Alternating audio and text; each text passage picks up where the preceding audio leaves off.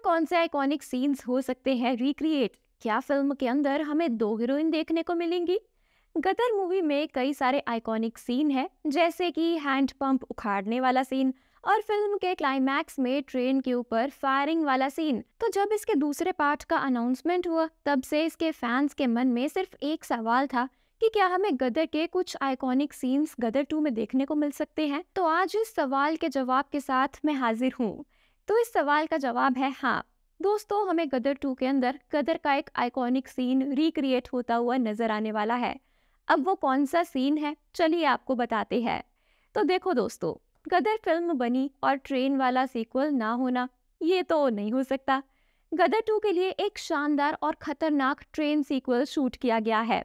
और वो ओरिजिनल वाली ट्रेन सीक्वेंस को टक्कर देता हुआ नज़र आ रहा है। जैसे कि गदर पार्ट वन में ट्रेन के ऊपर मतलब ट्रेन की छत पर तारा सिंह और पाकिस्तानी आर्मी के कुछ जवानों से लड़ते हुए नज़र आने वाले हैं। ट्रेन सीक्वेंस की एक पिक्चर इंटरनेट पर वापस से ट्रेंड हो रही है। इस संबंध में आई पिक्चर में हमें दिख रहा है कि ट्रेन के ऊपर पूरा क्रूज बैठा हुआ है और सीन को सेट किया जा रहा है। साथ ही इस सीन के अंदर हमें सौ लोग भी देखने को मिल रहे हैं ट्रेन के आसपास। मेरे ख्याल से ये हमें क्लाइमैक्स सीन में देखने को मिल सकता है। गदर टू के कई बीटीएस वीडियोस अभी तक इंटरनेट पर वायरल होते आ रहे हैं और इन्हीं में से एक वायरल वीडियो के अंदर हमें एक काफ़ी इमोशनल कर देने वाला सीन देखने को मिलता है। इस वीडियो के अंदर हमें इंडिया और पाकिस्तान की बॉर्डर नज़र आ रही है और फ़िल्म की एक्ट्रेस अमीशा पटेल भी। इस वीडियो में नज़र आ रही है, जो कि अपने सकीना वाले कैरेक्टर में एक गाड़ी के पीछे भागते हुए नज़र आ रही है। तो अब इनको देखकर लग रहा है कि सकीना जो है, वो तारा सिंह को रोकने के लिए भाग रही है, या फिर अपने बेटे जितेश के लिए।